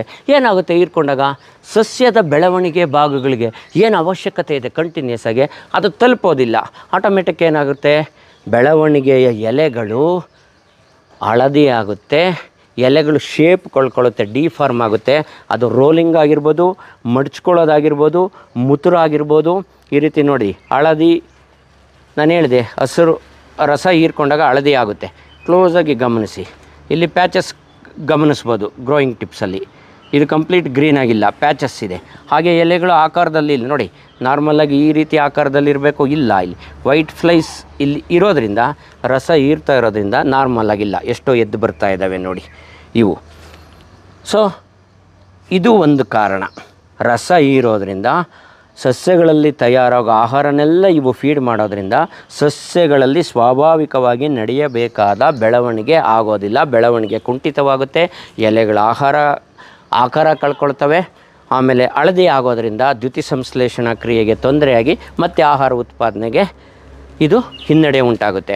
ಹಾಗೆ ಇನ್ನೊಂದು ಇದರಲ್ಲಿ ಗಮನಿಸಬೇಕಾಗಿರ್ತಕ್ಕಂಥದ್ದು, ಇವು ಸುಮ್ಮನೆ ಆ ಫ್ಲೋಯಮ್ಮಿಂದ ರಸ ಹೀರ್ತಾ ಇರಲ್ಲ. ರಸ ಹೀರ್ತಾ ಭಕ್ಷಿಸ್ತಾ ಭಕ್ಷಿಸ್ತಾ ಇವು ಒಂದು ರೀತಿಯ ದ್ರವನ ಸ್ರವಿಸ್ತವೆ. ನಾವು ಇದನ್ನು ಸ್ವೀಟ್ ಆಗಿರುತ್ತದು. ಅದನ್ನು ಆ ಏನು ಎಕ್ಸುಡೇಷನ್ ಅಂತ ಹೇಳ್ತೀವಲ್ಲ, ಆ ದ್ರವ ಸ್ರವಿಸ್ತವಲ್ಲ, ಅದರಲ್ಲಿ ಒಂದು ರೀತಿಯ ಶಿಲೀಂಧ್ರ ಬೆಳವಣಿಗೆ ಆಗುತ್ತೆ. ಸೂಟಿ ಮೌಲ್ಡ್ ಅಂತ. ಇದು ಕಂಪ್ಲೀಟ್ ಎಲೆಗಳನ್ನು ಕಪ್ಪು ಮಾಡುತ್ತೆ. ಈ ರೀತಿ ಕಂಪ್ಲೀಟ್ ಬ್ಲ್ಯಾಕ್ ಕೋಟಿಂಗ್ ಆಗುತ್ತೆ. ನೋಡಿ, ಹಸಿರು ಭಾಗ ಕಾಣೋದೇ ಇಲ್ಲ. ಕಂಪ್ಲೀಟ್ ಕಪ್ಪಾಗುತ್ತೆ ನೋಡಿ, ಎಲೆಗಳಲ್ಲಿ. ಇದು ನೋಡಿ, ಇದು ಕ್ಲಿಯರ್ ಆಗಿರೋ ಎಲೆ. ಹಸಿರಾಗಿದೆ, ಹೊಸ್ದಾಗಿ ಬಂದಿರೋದು. ವೈಟ್ ಫ್ಲೈ ಹತೋಟಿ ಮಾಡಿದ ಮೇಲೆ ನಾವು ಬಂದಿರತಕ್ಕಂಥದ್ದು. ಸೊ ಈ ಎಲೆಯಲ್ಲಿ ಫೋಟೋಸಿಂಥಸಿಸ್ ಆಗಲ್ಲ, ದ್ಯುತಿ ಸಂಶ್ಲೇಷಣಾ ಕ್ರಿಯೆ ಆಗಲ್ಲ, ಇಡೀ ಸಸ್ಯದ ಎಲೆಗಳು ಈ ರೀತಿಯಾದಾಗ ಸ್ವಾಭಾವಿಕವಾಗಿಯೇ ಸಸ್ಯಗಳಲ್ಲಿ ಆಹಾರ ತಯಾರಾಗೋದು ಕಡಿಮೆ ಆಗುತ್ತೆ. ಆಹಾರ ತಯಾರಾಗೋದು ಕಡಿಮೆ ಆಯಿತು ಅಂದರೆ ಬೆಳವಣಿಗೆ ಕುಂಠಿತವಾಗುತ್ತೆ. ತಯಾರಾಗಿರೋ ಆಹಾರದಿಂದಲೂ ಅವು ಅವೇ ಫೀಡ್ ಮಾಡ್ಕೊತಾ ಇದ್ದಾವೆ ರಸ ಹೀರ್ಕೊಳ್ತಾ ಇದ್ದಾವೆ ಜೊತೆಗೆ ಸೂಟಿ ಮೌಲ್ಡ್ ಡೆವಲಪ್ಮೆಂಟ್ ಆಗೋದ್ರಿಂದ ಫೋಟೋಸಿಂಥಸಿಸು ರೆಡ್ಯೂಸ್ ಅಂದರೆ ನೋಡಿ ಯಾವ ರೀತಿ ಹಿನ್ನಡೆ ಉಂಟಾಗುತ್ತೆ. ಈ ಎರಡು ರೀತಿಯ ದುಷ್ಪರಿಣಾಮಗಳ ಜೊತೆಗೆ ಇನ್ನೊಂದು ಮೇಜರ್ ಆಗಿರ್ತಕ್ಕಂಥ ದುಷ್ಪರಿಣಾಮ ನಾನೀಗಾಗಲೇ ಹೇಳ್ದಂಗೆ ಜಗತ್ತಿನಾದ್ಯಂತ ಇರತಕ್ಕಂಥ ಸಾವಿರದ ಐನೂರ ಐವತ್ತಾರಕ್ಕೂ ಹೆಚ್ಚು ಬಿಳಿ ನೊಣಗಳು ಸುಮಾರು ಎರಡು ಸಾವಿರ ಬೆಳೆಗಳಲ್ಲಿ ರಸ ಹೀರ್ಕೊಳ್ತವೆ. ಜೊತೆಗೆ ಇನ್ನೊಂದು ಮುಖ್ಯವಾದದ್ದು, ಇನ್ನೂರಕ್ಕೂ ಹೆಚ್ಚು ರೀತಿಯ ವೈರಸ್ ರೋಗಗಳಿಗೆ ಇವು ವಾಹಕಗಳು. ಹೇಗೆ? ನೋಡಿ, ಈಗೊಂದು ಯಾವುದೋ ಒಂದು ಸಸ್ಯದಲ್ಲಿ ವೈರಸ್ ಇದೆ. ಕಳೆ ಗಿಡ ಆಗಿರ್ಬೋದು, ಯಾವುದಾದ್ರೂ ಕ್ರಾಪ್ ಆಗಿರ್ಬೋದು. ಅದರಲ್ಲಿ ಒಂದು ಅಡಲ್ಟ್ ಬಿಳಿ ನೊಣ ಹೋಗಿ ಹತ್ತು ಹದಿನೈದು ನಿಮಿಷ ರಸ ಹೀರ್ಬಿಟ್ರೆ ಅಲ್ಲಿರ್ತಕ್ಕಂಥ ವೈರಸ್ ರೋಗಾಣು ಈ ಬಿಳಿ ನೊಣದ ದೇಹವನ್ನು ಸೇರಿಕೊಳ್ಳುತ್ತೆ. ಅದು ಇನ್ನೊಂದು ಆರೋಗ್ಯವಂತ ಸಸ್ಯದ ಮೇಲೆ ಹೋಗಿ ಕೂತ್ಕೊಂಡು ರಸ ಹೀರೋಕ್ಕೆ ಶುರುವಾದಾಗ ಹತ್ತು ಹದಿನೈದು ನಿಮಿಷ ಇದ್ದರೆ ಸಾಕು, ಈ ಸಸ್ಯಕ್ಕೆ ವೈರಸ್ ಹರಡುತ್ತೆ. ಸೊ ಇದು ಕ್ಯಾನ್ಸರ್ ಒಂದೇ ಕಣದಿಂದ ಸ್ಟಾರ್ಟ್ ಆಗೋದು ನಮ್ಮ ದೇಹದಲ್ಲಿ ಹಾಗೆಯೇ ಒಂದು ಸಾರಿ ಒಂದು ಎಲೆ ಮುಖಾಂತರ ಒಂದು ಸಸ್ಯಕ್ಕೆ ವೈರಸ್ ಪ್ರವೇಶ ಪಡ್ಕೊಳ್ತು ಅಂದರೆ ಇಡೀ ಬೆಳೆಯನ್ನು ಕೆಲವು ದಿನಗಳಲ್ಲಿ, ವಾರಗಳಲ್ಲಿ ಆಕ್ರಮಿಸ್ಕೊಳ್ಳುತ್ತೆ. ಹಾಗಾಗಿ ಇದು ರಸ ಹೀರಿ ಗಿಡಗಳ ಬೆಳವಣಿಗೆ ಹಿನ್ನಡೆ ಉಂಟಾಗೋದ್ರ ಜೊತೆಗೆ ಬಹಳ ಡಿವಸ್ಟೇಟಿಂಗ್ ಅಂತ ಹೇಳ್ಬೋದು, ಮಾರಕ ಅಂತ ಹೇಳ್ಬೋದು. ಏನು ವೈರಸ್ ರೋಗ ಹರಡೋದು. ಇವತ್ತೇನು ಟೊಮೊಟೊ ಬೆಳೆಗಾರರು ಲಕ್ಷಾಂತರ ಎಕರೆಗಳನ್ನು ಅನುಭವಿಸ್ತಾ ಇದ್ದೀರಲ್ಲ ನೀವು? ಲೀಫ್ ಕರ್ನಿಂಗ್ ಆಗೋದು, ತುದಿ ಎಲೆಗಳು ಬಣ್ಣ ಕಳ್ಕೊಳ್ಳೋದು, ಆಕಾರ ಕಳ್ಕೊಳ್ಳೋದು ಈ ಬಿಳಿ ನೊಣಗಳು ಹರಡೋ ವೈರಸ್ ರೋಗಗಳಿಂದ ಈ ರೀತಿ ಆಗ್ತಾ ಇರೋದು ಫ್ರೆಂಡ್ಸ್ ರಸ ಹೀರ್ಕೊಂಡು ಆಹಾರ ತಿಂದಾಗ್ತದೆ. ಜೊತೆಗೆ ಸೂಟಿಮೋಲ್ ಡೆವಲಪ್ ಆಗೋದ್ರಿಂದ ಫೋಟೋಸಿಂಥಸಿಸ್ ಹಿನ್ನಡೆ ಉಂಟಾಗುತ್ತೆ. ಜೊತೆಗೆ ಈ ರೀತಿ ವೈರಸ್ ಹರಡುತ್ತೆ. ಇನ್ನೊಂದು ವಿಶೇಷ ಏನು ಗೊತ್ತಾ? ಒಂದು ಅಡಲ್ಟ್ ವೈಟ್ ಫ್ಲೈಸ್ಗೆ ವೈರಸ್ ರೋಗಾಣು ಅಂಟಿಕೊಳ್ತು ಅಂದರೆ ಅದು ನೆಕ್ಸ್ಟ್ ಸಂತತಿಗೆ ಮೊಟ್ಟೆ ಮುಖಾಂತರ ನೆಕ್ಸ್ಟ್ ಸಂತತಿಗೆ ಹೋಗುತ್ತೆ. ಸೊ ಒಂದು ಬಿಳಿ ನೊಣ ನೂರೈವತ್ತು ಮೊಟ್ಟೆ ಇರ್ತದೆ. ನೂರೈವತ್ತು ಮರಿಗಳಾಗಿ ಬರ್ತವೆ. ಅದರಲ್ಲಿ ವೈರಸ್ ಇತ್ತು. ಕೇವಲ ಹದಿನೈದು ದಿನಗಳಲ್ಲಿ ಮತ್ತೆ ಪುನರಾವರ್ತನೆ ಆಗ್ತದೆ. ನೂರೈವತ್ತು ಮೊಟ್ಟೆ ಹದಿನೈದು ದಿನಗಳಲ್ಲಿ ಅಲ್ಲ, ಒಂದು ಮೊಟ್ಟೆ ನೂರೈವತ್ತು ಮರಿಗಳು. ಸೊ ನಿಮ್ಮ ಎಲೆನಲ್ಲೂ ಒಂದು ಹತ್ತು ಬಿಳಿ ನೊಣಗಳಿವೆ, ಒಂದು ಎಲೆನಲ್ಲಿ ಅಂತ ಹೇಳಿದರೆ ಹತ್ತು ಇಂಟು ನೂರೈವತ್ತು ಸಾವಿರದ ಐನೂರು ವೈರಸ್ ಇರ್ತಕ್ಕಂಥ ಬಿಳಿ ನೊಣಗಳು ಒಂದು ಎಲೆಯಲ್ಲಿ ಅಭಿವೃದ್ಧಿ ಆಗ್ತವೆ ಅಂದರೆ ಇಡೀ ಬೆಳೆನ ಆಕ್ರಮಿಸ್ಕೊಂಡು ನಾನು ಕೆಲವು ಸ್ಟಿಲ್ಗಳು ವಾಟ್ಸಪ್ಪಲ್ಲಿ ಬಂದಿರೋ ತೋರಿಸ್ತೀನಿ, ಕ್ಲಾರಿಟಿ ಇದ್ದರೆ ನೋಡಿ. ಎಷ್ಟರ ಮಟ್ಟಿಗೆ ಕಾಣಿಸ್ತಾ ಇದೆ. ಆಮೇಲೆ ವ, ನಾವು ಗಮ್ ಶೀಟುಗಳು ಹೇಳಿದ್ದೀವಲ್ಲ, ಅದು ಹಾಕ್ಕೊಂಡಾಗ ಎಷ್ಟು ಪ್ರಮಾಣದಲ್ಲಿ ಬಂದು ಅಂಟಿಕೊಳ್ತಾ ಇದೆ ಅಂತ. ಸೊ, ಈಗ ಅರ್ಥ ಆಗಿದ್ದು ನಮಗೆ. ಅದನ್ನು ಹತೋಟಿ ಮಾಡಲಿಕ್ಕೆ ಯಾಕೆ ಕಷ್ಟ ಆಯಿತು ಅಂತ ಮೂರು ಕಾರಣಗಳು ಕೊಟ್ಟೆ. ಯಾವ ರೀತಿ ತೊಂದರೆ ಆಗಿದೆ ಅನ್ನೋದಕ್ಕೆ ನಾನು ಮೂರು ವಿವರಣೆ ಕೊಟ್ಟೆ. ಯಾವ ರೀತಿ ಹಿನ್ನಡೆ ಉಂಟು ಮಾಡ್ತವೆ ಅಂತ. ಹಾಗಿದ್ದರೆ ಇದಕ್ಕೇನು ಕಂಪ್ನಿಯವರು ಸರ್ಕಾರಗಳು ಏನು ಮಾಡ್ತಾ ಇಲ್ವಾ ಹತೋಟಿಗೆ ಖಂಡಿತವಾಗಲೂ ಇದು ತುಂಬ ಡಿಬೇಟಬಲ್ ಅಂತಲೇ ಹೇಳ್ಬೋದು. ಯಾಕೆ ಗೊತ್ತಾ? ತುಂಬ ಅತ್ಯುತ್ತಮವಾದ ಔಷಧಿಗಳು ಬರ್ತಾ ಇದೆ. ಸರ್ಕಾರದಿಂದ ನಡೀತಾ ಇದೆ ಕಂಪ್ನಿಗಳಿಂದ ನಡೀತಾ ಇದೆ. ಎಲ್ಲಿ ಲೋಪ ಆಗ್ತಾ ಇದೆ ಅಂದರೆ, ಎಲ್ಲಿ ಸಂಶೋಧನೆಯಾಗಿ ಯಾವ ರೀತಿ ಹತೋಟಿ ಮಾಡಬೇಕು ಅಂತ ಮಾಹಿತಿ ಬರ್ತಾ ಇದೆ, ಅದನ್ನು ರೈತರಿಗೆ ತಲುಪಿಸುವಲ್ಲಿ ಲೋಪ ಉಂಟಾಗ್ತಾ ಇದೆ. ಯಥಾವತ್ತಾಗಿ ರೈತರುಗಳಿಗೆ ಈ ಮಾಹಿತಿ ಸಿಗ್ತಾ ಇಲ್ಲ. ಸೊ ರೈತರು ನಿಯರೆಸ್ಟು ಸಮಸ್ಯೆ ಬಂದ ತಕ್ಷಣ ಎಲ್ಲಿ ಬರ್ತಾರೆ? ಸಮೀಪದಲ್ಲಿರ್ತಕ್ಕಂಥ ಔಷಧಿ ಅಂಗಡಿಗಳು ಆಗ್ರೋ ಸೆಂಟರು ಅಲ್ಲಿ ಇದ್ರ ಮಾಹಿತಿ ಇದೆಯಾ? ಮೋಸ್ಟ್ ಆಫ್ ದಿ ತೊಂಬತ್ತು ಪರ್ಸೆಂಟಕ್ಕಿಂತ ಹೆಚ್ಚು ಕೃಷಿನಲ್ಲಿ ಪದವೀಧರರು ಇಲ್ಲದೇ ಇರೋವೇ ಅಂಗಡಿಗಳಿರೋದ್ರಿಂದ ಅವ್ರನ್ನ ಟೀಕೆ ಮಾಡೋದಲ್ಲ, ಅವರಲ್ಲಿ ಮಾಹಿತಿ ಇಲ್ಲ. ಸೊ ಮಾಹಿತಿ ಕೊಡೋ ಕೆಲಸ ಆಗಿಲ್ಲ. ಹಾಗಾಗಿ ಇದು ಯಾವುದೂ ಯಾವ ರೀತಿ ಡ್ಯಾಮೇಜ್ ಮಾಡ್ತವೆ, ಹೇಗೆ ರೆಸಿಸ್ಟೆನ್ಸ್ ಬೆಳೆಸ್ಕೊತವೆ, ಇದನ್ನು ಹೇಗೆ ನಾವು ಇಂಟಿಗ್ರೇಟೆಡ್ ಮ್ಯಾನೇಜ್ಮೆಂಟ್ ಮುಖಾಂತರ ಹತೋಟಿ ಮಾಡಬೇಕು ಅನ್ನೋ ಮಾಹಿತಿ ಅವರಲ್ಲಿ ಇರೋದಿಲ್ಲ. ಹಾಗಾಗಿನೇ ರೈತರಿಗೆ ಸರಿಯಾದ ಮಾಹಿತಿ ತಲುಪ್ತಾ ಇಲ್ಲ. ನೋಡಿ, ಒಂದು ಉದಾಹರಣೆ ಹೇಳ್ತೀನಿ. ನೀವು ಈಗಾಗಲೇ ಕೆಲವರು ತುಂಬ ತುಂಬ ಔಷಧಿಗಳು ಹೊಡಿತಾ ಇದ್ದಾರೆ. ವೈಟ್ ಫ್ಲಸ್ ಜಾಸ್ತಿ ಇದೆ ಅಂತ ಬೆಳಗ್ಗೆ ಹೊಡೆ ಸಂಜೆ ನೋಡಿದಾಗ ಇನ್ನೂ ತುಂಬ ಇದೆ, ಹೋಗಿಲ್ಲ ಅಂತಾರೆ, ಮತ್ತು ನಾಳೆ ಹೊಡಿತೀರ, ನಾಡ್ದು ಹೊಡಿತೀರ? ಖಂಡಿತ ಇದು ಪರಿಹಾರ ಅಲ್ಲ. ಈಗಾಗಲೇ ಬಿಳಿ ನೊಣಗಳ ಹಾವಳಿಯಿಂದ ಬೆಳೆ ಸೊರಗಿರುವಾಗ ನೀವು ಪದೇ ಪದೇ ಪದೇ ಪದೇ ಕಾಂಬಿನೇಷನ್ ಮಾಡಿಕೊಂಡು ಓವರಾಗಿ ಸ್ಪ್ರೇ ಮಾಡ್ತಾ ಇದ್ದಾಗ ಈ ಟೆಂಪ್ರೇಚರ್ನಲ್ಲಿ ಖಂಡಿತವಾಗಲೂ ಬೆಳೆಗೆ ಇನ್ನೂ ಹಿನ್ನಡೆ ಉಂಟಾಗೋಗ್ತದೆ. ಒಂದು ಉದಾಹರಣೆ ಹೇಳ್ತೀನಿ ನೋಡಿ. ಇಲ್ಲಿ ನಿಮಗೆ ಕಾಣಿಸ್ತದ ಪೇಪರ್ ತೋರಿಸ್ತೀನಿ. ಎರಡು ಸಾವಿರನೇ ಇಸ್ವಿನಲ್ಲಿ ಅಮೇರಿಕದಲ್ಲಿ ಟೊಮೊಟೊ ಬೆಳೆ ಈ ಬಿಳಿ ನೊಣಗಳ ಹಾವಳಿಯಿಂದ ನೂರಕ್ಕೆ ನೂರು ನಷ್ಟ ಆಗಿತ್ತು. ಅಂದರೆ ಅದರ ಕೈ ಮೇಲಾದಾಗ ನಷ್ಟ ಆದಾಗ ನಾವು ಶರಣ ಆಗಬೇಕಲ್ವಾ? ಈ ಕರೋನಾ ಬಂದಾಗ ಏನು ಮಾಡಿದ್ವಿ ನಾವು? ನಾವು ಚಾಲೆಂಜ್ ಮಾಡೋಕ್ಕಾಗುತ್ತಾ ಅದಕ್ಕೆ? ಆಗಾಗಲ್ಲ ವ್ಯವಸ್ಥಿತವಾಗಿ ನಾವು ಮಾಡ್ತಾ ಹೋದಾಗ ಹತೋಟಿ ಮಾಡ್ಕೊಳ್ಳೋದಕ್ಕೆ ಸಾಧ್ಯ ಇದೆ. ಇದಕ್ಕೆ ನಾನು ಕೆಲವೊಂದು ಉದಾಹರಣೆ ಹೇಳ್ತೀನಿ. ಈಗ ಕೋಲಾರ ಭಾಗದಲ್ಲೇ ಟೊಮೊಟೊ ಬೆಳೆ ಯಶಸ್ವಿಯಾಗಿರೋ ಕೆಲವು ವಿಡಿಯೋಗಳನ್ನು ತೋರಿಸ್ತೀನಿ ನಿಮಗೆ. ಆಗ ಅರ್ಥ ಆಗುತ್ತೆ ಫ್ರೆಂಡ್ಸ್ ಸಾಧ್ಯ ಇದೆ ಬಟ್ ಒಂದಷ್ಟು ತಾಳ್ಮೆ ಬೇಕು. ದಯವಿಟ್ಟು ನಿರಾಶ್ರಾಗ ಅವಶ್ಯಕತೆ ಅಂತೂ ಖಂಡಿತ ಇಲ್ಲ. ಯಾರೋ ಅದು ಹೊಡೆದಿದ್ರಂತೆ, ಯಾರೋ ಅದು ಮಾಡಿದ್ರಂತೆ, ಹತೋಟಿಯಾಗಿ ಈ ಥರ ಗಾಳಿ ಸುದ್ದಿಗಳು, ನೇರವಾಗಿ ಫೀಲ್ಡಿಗೆ ಬಂದು ಔಷಧಿಗಳು ಕೊಡೋ ಕಂಪ್ನಿಗಳು, ಅನಧಿಕೃತವಾಗಿ ಸರ್ಕಾರದಿಂದ ಅನುಮತಿ ಇಲ್ಲದೆ, ಬಿಲ್ ಇಲ್ಲದೆ ಕೊಡೋ ಔಷಧಿಗಳು ಇವುಗಳ ಬಳಕೆಯನ್ನು ಕಡಿಮೆ ಮಾಡಬೇಕಾಗಿದೆ. ಏನು ಇಂಟಿಗ್ರೇಟೆಡ್ ಮ್ಯಾನೇಜ್ಮೆಂಟ್ ಹೇಗೆ ಮಾಡೋದು ನಾವು? ಅಂದರೆ ಯಾವ್ಯಾವ ಸೋರ್ಸಿಂದ ನಮಗೆ ಇವುಗಳನ್ನ ಹತೋಟಿ ಮಾಡೋದಕ್ಕೆ ಏನೇನು ಸೌಕರ್ಯಗಳು ಲಭ್ಯ ಇದೆ, ಎಲ್ಲವನ್ನು ಬಳಸ್ಕೋಬೇಕು. ಬರೀ ರಾಸಾಯನಿಕಗಳ ಮೇಲೆ ಖಂಡಿತ ನಾವು ಅವಲಂಬನೆ ಆಗಿರಬಾರ್ದು ಅನ್ನೋದು. ನೋಡಿ, ಏನದರಲ್ಲಿ? ಲೈನ್ ಆಫ್ ಡಿಫೆನ್ಸ್ ಅಂತ ಕರಿತೀವಿ, ಅನೇಕವು. ನಾನು ಮೊದಲೇ ಕೆಲವು ವೀಡಿಯೋಗಳಲ್ಲಿ ಹೇಳಿದ್ದೀನಿ. ನೀವು ಬೆಳೆ ಇಡೋದಕ್ಕೆ ಹತ್ತನ್ನೆರಡು ದಿವಸ ಮುಂಚೆನೇ ಕೆಲವ್ರು ನಾವು ಹಾಕಿದ್ದೀವಿ ಅಂತೀರಿ. ಬಟ್ ಹತ್ತನ್ನೆರಡು ದಿವಸ ಮುಂಚೆನೇ ನಿಮ್ಮ ಉದಾಹರಣೆಗೆ ಒಂದು ಬೆಳೆ ತೊಗೊಳ್ಳೋದಾದರೆ ಟೊಮೊಟೊನೇ ತೊಗೊಳ್ತೀನಿ. ಹತ್ತನ್ನೆರಡು ದಿವಸ ಮುಂಚೆ ಬಾರ್ಡ್ರ್ನಲ್ಲಿ ಒಂದೆರಡು ಸಾಲು ಜೋಳ ಹಾಕಿ, ಆಮೇಲೆ ಹಳದಿ ಕಲರ್ ಚೆಂಡುವಿನ ಗಿಡಗಳು ಹಾಕಿ, ಹತ್ತನ್ನೆರಡು ಸಾಲಿಗೊಂದು ಸಾರಿ ಹಳದಿ ಕಲರ್ದು ಚೆಂಡುವಿನ ಗಿಡಗಳನ್ನು ಹಾಕಿ ನೀವು, ಆಮೇಲೆ ನಾಟಿ ಮಾಡಿದ ತಕ್ಷಣ ಗಮ್ ಶೀಟುಗಳು ಹಾಕ್ಕೊಳ್ಳಿ. ನಿಮಗೆ ಹಳದಿದು ಬರುತ್ತೆ ವೈಟ್ ಫ್ಲೈಸ್ ಅಟ್ರ್ಯಾಕ್ಟ್ ಮಾಡ್ತಕ್ಕಂಥದ್ದು, ಅದನ್ನು ಹಾಕಲಿ ಈಗ ಆ್ಯಕ್ಚುಲಿ ಒಂದು ಟೇಪ್ ರೂಪದಲ್ಲೂ ಸಿಗುತ್ತೆ ನಿಮಗೆ. ಬೆಳೆ ಹೊರಗಡೆ ನಾಲ್ಕು ದಿಕ್ಕುಗಳಲ್ಲೇ ಒಂದು ಇಪ್ಪತ್ತರಿಂದ ಇಪ್ಪತ್ತೈದು ಅಡಿ ಗಮ್ ಟೇಪ್ ಬರುತ್ತೆ. ಅದನ್ನು ಹಾಕ್ಬೋದು. ಏನೇನು ಸಾಧ್ಯ ಇದೆ ಅದನ್ನು ಇಂಟಿಗ್ರೇಟೆಡ್ ಅನ್ನೋದು ಅದನ್ನೇ ಬರೀ ರಾಸಾಯನಿಕಗಳ ಮೇಲೆ ಡಿಪೆಂಡ್ ಆದಾಗ ಹತೋಟಿ ಹಂಡ್ರೆಡ್ ಪರ್ಸೆಂಟ್ ಆಗಲ್ಲ, ಖರ್ಚು ಜಾಸ್ತಿ ಆಗ್ತಾ ಹೋಗ್ತದೆ. ಇದನ್ನು ಮಾಡ್ಕೊತ ಬರಬೇಕು. ಆಮೇಲೆ ಔಷಧಿಗಳು ಒಳ್ಳೆಯವಿರ್ತವೆ ಎಲ್ಲವನ್ನೂ ಇರ್ತವೆ. ಯಾವ ವಯಸ್ಸಿನಲ್ಲಿ, ಬೆಳೆ ಈಗ ಎಷ್ಟು ದಿನಗಳಲ್ಲಿ ಯಾವುದು ಬಳಸಬೇಕು ಅನ್ನೋದಿರಬೇಕು ಈಗ ತುಂಬ ಚೆನ್ನಾಗಿದೆ ಒಂದು ಔಷಧಿ ಅಂದರೆ, ಕೆಲವರು ನಾನು ಮೊನ್ನೆ ನಾನು ಕೇಳಿದರು ಒಂಬತ್ತು ದಿವಸ ಹನ್ನೆರಡನೇ ದಿವಸದ ಬೆಳೆಗೆ ಒಂದು ತುಂಬ ತೀಕ್ಷ್ಣವಾದ ಔಷಧಿನ ಪ್ರಯೋಗ ಮಾಡಿದ್ದಾರೆ. ಸೊ ಬೆಳೆಗೆ ಹಿನ್ನಡೆ ಉಂಟಾಗೋಗಿದೆ. ಹಾಗೆಯೇ ಬೆಳೆಯ ವಯಸ್ಸಿಗೆ ತಕ್ಕನಾಗಿ ಯಾವ ಔಷಧಿನ ಆಯ್ಕೆ ಮಾಡ್ಕೊಳ್ಬೇಕೋ ಅದು ಬಹಳನೇ ಮುಖ್ಯ. ಈ ವಿಡಿಯೋನ ಪೂರ್ತಿ ನೀವು ಮೂರ್ನಾಲ್ಕು ಸರಿ ನೋಡಿ, ನಿಮ್ಗೆ ಅರ್ಥ ಆಗ್ತದೆ. ಹಾಗೆಯೇ ಕೆಲವು ವಿಶೇಷವಾದ ಔಷಧಿಗಳು ಏನು ಹೊಸ್ದಾಗಿ ಬಂದಿದೆ. ಅನೇಕ ವರ್ಷಗಳಿಂದ ನಾವು ಪುನರಾವರ್ತಿತವಾಗಿ ಪದೇ ಪದೇ ಒಂದನ್ನೇ ಬಳಸ್ಕೊ ಬಂದಿರೋದ್ರಿಂದ ಖಂಡಿತವಾಗ್ಲೂ ನೂರಕ್ಕೆ ನೂರು ಪರ್ಸೆಂಟ್ ರೆಸಿಸ್ಟೆನ್ಸ್ ಬಂದಿರ್ತದೆ. ದಯವಿಟ್ಟು ಈ ಬೇಸಿಗೆ ದಿನಗಳಲ್ಲಾದರೂ ಅವುಗಳ ಅತ್ ಪ್ರಯೋಗವನ್ನು ನಿಲ್ಲಿಸಿ. ಬೇಕಾದಷ್ಟು ಹೊಸ ಮಾಲಿಕ್ಯೂಲ್ಸ್ ಬಂದಿದೆ. ಹೊಸ ಔಷಧಿಗಳು ಬಂದಿದೆ. ಅದನ್ನು ತೋರಿಸ್ತೀನಿ ನೋಡಿ, ನೀವು ಮುಂದಿನ ಭಾಗದಲ್ಲಿ ಔಷಧಿಗಳು ಬರುತ್ತೆ. ಇವುಗಳನ್ನು ಬದಲಾವಣೆ ಮಾಡಿ ಮಾಡಿ ಬಳಸಬೇಕು. ಪ್ರತಿ ಸಲ ಬೇವಿನೆಣ್ಣೆ. ನೀವು ಬಯೋ ಔಷಧಿಗಳಂತ ಏನು ಕರಿತೀವಿ? ಮಾರ್ಕೆಟ್ನಲ್ಲಿ ಸಿಗೋದು ನಿಜವಾಗ್ಲೂ ಬಯೋ ಔಷಧಿಗಳಲ್ಲ ಅದು. ಬಯೋ ಹೆಸರಿನಲ್ಲಿ ಮಾರಾಟ ಆಗ್ತಕ್ಕಂಥ ಅನೇಕ ಕೆಮಿಕಲ್ಗಳ ಮಿಶ್ರಣ. ಬಯೋ ಅಂತ ನಾವು ಯಾವುದಕ್ಕೆ ಕೇಳ್ತೀವಿ? ಬೇವಿನ ಎಣ್ಣೆ ಹೊಂಗೆ ಎಣ್ಣೆ ಇನ್ನೂ ಅನೇಕ ರೀತಿಯ ಪ್ಲ್ಯಾಂಟ್ ಎಕ್ಸ್ಟ್ರಾಕ್ಟ್ಸ್ ಇರುತ್ತೆ.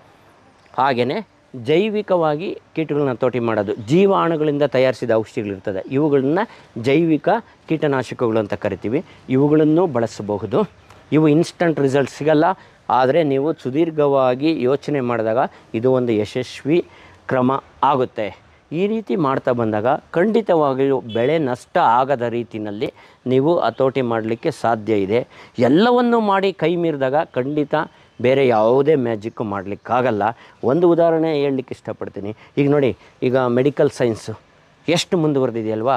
ಎಷ್ಟು ಲೇಟೆಸ್ಟು, ಎಂತೆಂಥ ಮೆಡಿಸಿನ್ಸ್ ಎಲ್ಲ ಬಂದಿದೆ, ಎಂತೆಂಥ ರೋಗಗಳು ವಾಸಿ ಮಾಡೋ ಅಂಥದ್ದು. ಸ್ಟಿಲ್ ಈಗಾದರೂ ಸಹ ಕಾಯಿಲೆಗಳಿಂದ ನಿರಂತರವಾಗಿ ಜನ ಸಾಯ್ತಾ ಇದ್ದಾರೆ ಅಲ್ವಾ? ಖಂಡಿತವಾಗಲೂ ಒಪ್ಪಿಕೊಳ್ಳಬೇಕಾದ ಕಹಿ ಸತ್ಯ ಹಾಗೆಯೇ ಬೆಳೆಗಳಲ್ಲೂ ಎಂಥ ಕೆಮಿಕಲ್ಸ್ ಆಗಲಿ, ಕೆಲವು ಸನ್ನಿವೇಶಗಳಲ್ಲಿ ವಾತಾವರಣ ಪೂರ್ವಕವಾಗಿಲ್ಲದೇ ಇದ್ದಾಗ, ಕೀಟಗಳಿಗೆ ಪೂರಕವಾಗಿದ್ದಾಗ ಅವುಗಳ ಹತೋಟಿ ಕಷ್ಟ ಸಾಧ್ಯ ಹಾಗೇನೂ ಮಾಡಲಿಕ್ಕಾಗಲ್ಲ, ಅದೊಂದು ತಿಳ್ಕೊಬೇಕು. ನಾವು ಇನ್ನೇನೋ ಮಾಡೋಕ್ಕೆ ಹೋಗಿ ಅವೇ ಇನ್ನೂ ಸ್ಟ್ರಾಂಗ್ ಆಗ್ತದೆ. ರೆಸಿಸ್ಟೆನ್ಸ್ ಲೆವೆಲ್ಲು ಬೇಗ ಡೆವಲಪ್ ಆಗುತ್ತೆ. ಇದೊಂದು ನೆನಪಲ್ಲಿ ಇಟ್ಕೊಳ್ಳಿ ಸ್ನೇಹಿತರೆ. ನೋಡಿದ್ರಲ್ವಾ? ಪ್ಲ್ಯಾಂಟ್ಸಲ್ಲಿ ಸಸ್ಯಗಳಲ್ಲಿ ಯಾವ ರೀತಿ ರಸ ಇರ್ತಾ ಇದೆ, ಹೇಗೆ ವಂಶಾಭಿವೃದ್ಧಿಯಾಗಿ, ಏನಪ್ಪ ಇದು ಹತೋಟಿ ಮಾಡೋಕ್ಕಾಗಲ್ವಾ ಅನ್ನೋ ರೀತಿ ಹಾನಿ ಉಂಟು ಮಾಡ್ತಾ ಇದೆಯಲ್ಲ? ಖಂಡಿತ ಎಲ್ಲ ಸಮಸ್ಯೆಗೂ ಪರಿಹಾರ ಇದೆ ಸ್ನೇಹಿತರೆ. ಈಗ ಕರೋನಾ ಅಷ್ಟೊಂದು ತೊಂದರೆ ಮಾಡ್ತು, ಪರಿಹಾರ ಸಿಕ್ತಲ್ವಾ? ಹಾಗೆಯೇ ಒಂದಷ್ಟು ತಾಳ್ಮೆ ಬೇಕು. ಯಾವುದು ಶಾರ್ಟ್ ಕಟ್ಟಲ್ಲಾಗಲ್ಲ ವೈಜ್ಞಾನಿಕವಾಗಿಯೇ ಮಾಡಬೇಕಾಗ್ತದೆ. ಸೊ ಇಲ್ಲಿ ನಾನು ಹೇಳೋದು ಈ ಥರ ಒಂದು ಬಹಳನೇ ಹಾನಿ ಉಂಟು ಮಾಡೋ ಕೀಟಗಳಿಗೆ ನೀವು ಇಂಟಿಗ್ರೇಟೆಡ್ ಪೆಸ್ಟ್ ಮ್ಯಾನೇಜ್ಮೆಂಟ್ ಸಮಗ್ರ ಕೀಟ ನಿರ್ವಹಣಾ ಪದ್ಧತಿಗಳನ್ನು ಅಳವಡಿಸಬೇಕಾಗ್ತದೆ. ಅದರಲ್ಲಿ ರಾಸಾಯನಿಕ ಸಿಂಪಡಣೆಗಳು ಸ್ಪ್ರೇಗಳೇನಿದೆ, ಅದರ ಆಯ್ಕೆ ಕೊನೆಯ ಆಯ್ಕೆ ಆಗಿರಬೇಕಾಗ್ತದೆ. ಯಾವುದು ನೀವು ಕ್ರಾಪ್ ರೊಟೇಷನ್ ಮಾಡೋರಾಗಿರ್ಬೋದು, ಅಂದರೆ ಬೆಳೆ ಪರಿವರ್ತನೆ. ಈ ಸರಿ ವೈಟ್ ಫ್ಲೈ ಇಷ್ಟಪಡೋಂಥ ಬೆಳೆ ಮಾಡಿದರೆ ಮುಂದಿನ ಸಾರಿಗೆ ವೈಟ್ ಫ್ಲೈ ಬೀಳದೇ ಇರೋದು. ಅದು ನಾನ್ ಹೋಸ್ಟ್ ಅಂತ ಕರಿತೀವಿ. ಆ ಬೆಳೆ ಮಾಡಬೇಕಾಗ್ತದೆ. ಹಾಗೆಯೇ ನೀವು ಈ ಬೆಳೆ ಮಾಡ್ತಕ್ಕಂಥ ಸುತ್ತಲಿನ ಪ್ರದೇಶದಲ್ಲಿ ಇವುಗಳನ್ನು ತಿಂತಕ್ಕಂಥ ಪ್ರಿಡೇಟರ್ ಇನ್ಸೆಕ್ಟ್ಸ್ ಇರುತ್ತೆ. ಅವುಗಳನ್ನು ಪ್ರಮೋಟ್ ಮಾಡೋ ಅಂಥ ವೆಜಿಟೇಷನ್ ಇರಬೇಕಾಗ್ತದೆ. ಹಾಗೆಯೇ ಅವು ನಿಮಗೆ ಇಂಡಿಕೇಟ್ರ್ ಆಗಿ ಕೆಲಸ ಮಾಡಲಿಕ್ಕೆ ಅಂದರೆ ಈ ಕೀಟದ ಬಾಧೆ ಸ್ಟಾರ್ಟ್ ಆಗ್ತಾಯಿದೆ ಅಂತ ಕಂಡಿಡ್ಕೋಬೇಕಾದ್ರೆ ಒಂದು ಇಂಡಿಕೇಟ್ರ್. ಯೆಲ್ಲೋ ಕಲರ್ದು. ಹಳದಿ ಬಣ್ಣದ ಗಮ್ ಶೀಟುಗಳೇನಿದೆ ಸ್ಟಿಕ್ಕಿ ಟ್ರ್ಯಾಪ್ಸ್ ಅವುಗಳನ್ನು ಅಳವಡಿಸ್ಕೋಬೇಕಾಗ್ತದೆ. ಹಾಗೆಯೇ ಬಯೋ ಪೆಸ್ಟಿಸೈಡ್ಸ್, ಜೈವಿಕ ಮೂಲದ ಕೀಟನಾಶಕಗಳು. ಒಂದು, ಮೈಕ್ರೋಬಿಯಲ್ ಕಲ್ಚರ್ಸಿಂದ ಬಂದಿರತಕ್ಕಂಥದ್ದು.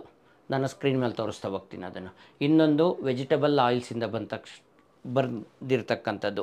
ಇವುಗಳನ್ನು ಬಳಸೋದು ಹಾಗೆಯೇ ಪ್ರತಿ ಸಲ ನೀವು ಔಷಧಿಗಳನ್ನು ಬಳಸಬೇಕಾದ್ರೆ ಈ ಈ ಸಾರಿ ಒಂದು ವಯಸ್ಸಿಗೆ ತಕ್ಕನಾಗ ಆಯ್ಕೆ ಮಾಡಬೇಕಾಗ್ತದೆ. ಇದು ತುಂಬ ಚೆನ್ನಾಗಿದೆಯಪ್ಪ, ಬೆಸ್ಟ್ ಅಂತಂತಂದು ನಿಮಗೆ ರಿಪೋರ್ಟ್ ಬಂದಿರ್ತದೆ, ಯಾರೋ ಹೇಳಿರ್ತದೆ. ಅವ್ರು ಮೂವತ್ತು ದಿವಸದಲ್ಲಿ ಮಾಡಿರ್ತಾರೆ, ಚೆನ್ನಾಗಿ ಕಂಟ್ರೋಲ್ ಆಗಿರ್ತದೆ.